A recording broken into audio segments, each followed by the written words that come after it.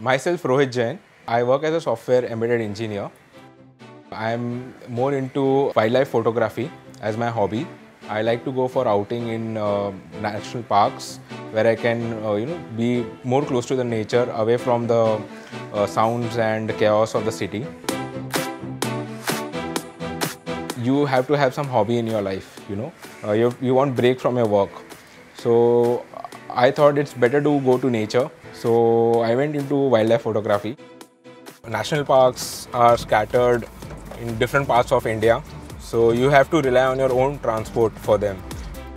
I wanted to have a big car, a comfortable car, uh, which can take me places.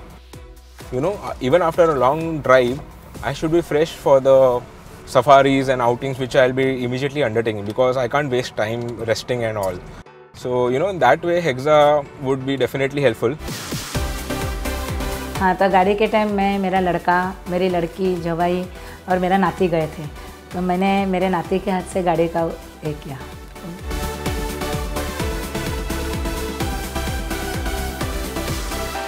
The comfort for the driver is like uh, mind blowing. Uh, the steering controls, I am like impressed with the steering controls, the cruise control. Feature wise, I find it very nice. When my friend told me about Hexa, the one thing he, he insisted was this car has best of the class music system in it. 10 speaker JBL system and a, a Harman music engine driving it and the way it sounded it was like very nice. Uh, that that's the best feature I like about this car. Apart from the comfort, because comfort remains the USP of this car.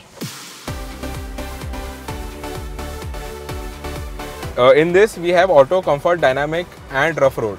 Rough road is a boon, you know, when you're on uh, interior roads of Maharashtra, which are not that good. And dynamic is like if you want to set the beast free. The comfort is like, you know, uh, suppose I am going on Mumbai Pune Expressway. So if you want to go mileage and all, then you can just put cruise control on 80 and turn to comfort mode. So I went for a manual only for that reason.